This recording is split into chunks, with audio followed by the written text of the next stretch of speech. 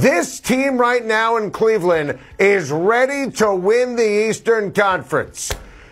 And Donovan Mitchell was supposed to go to the Knicks. Donovan Mitchell was a unicorn, a superstar, and a great player who wanted to be in New York. No player wants to be in New York playing for Jim Dolan, playing for the Knicks.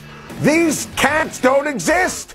Donovan Mitchell grew up in New York, wanted to be traded to the Knicks. He's always tweeting about the Mets. His dad works for the Mets, was going to be a rock star. How do you not get this done?